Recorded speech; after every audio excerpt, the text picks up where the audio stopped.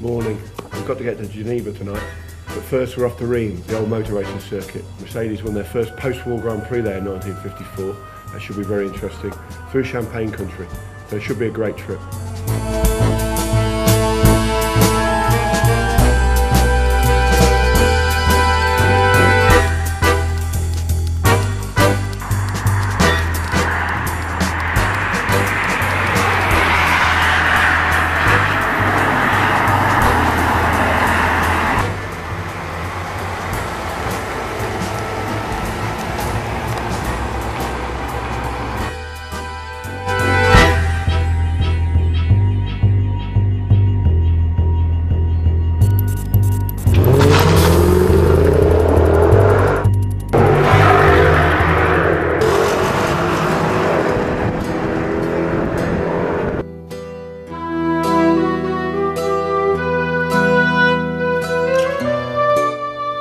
We're off down to the Champagne region.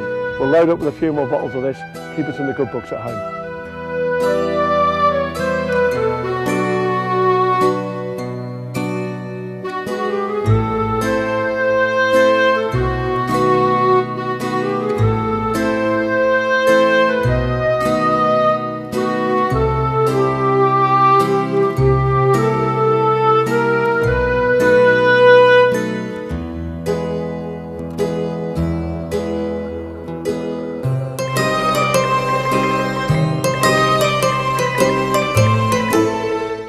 Yeah, minus nine. It's pretty serious weather out there actually. A lot of cars and, and the trucks are struggling too.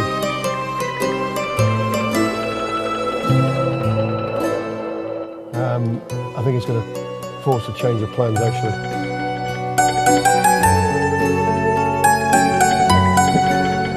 Well, we've been stuck for two hours somewhere in the middle of France.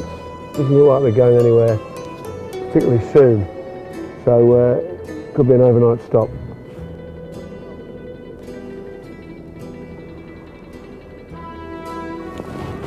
Mind you, couldn't be a better car to be stuck in.